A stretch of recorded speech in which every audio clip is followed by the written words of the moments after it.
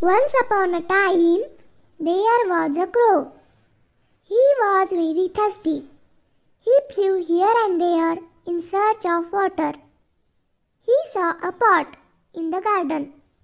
There was a little water in it. He could not drink it. He thought of a plan. He put some stones into it. The water rose up. He drank it and flew away. Of the story is necessity is the mother of invention. Thank you for watching. Like, share and subscribe my channel for more videos. Bye.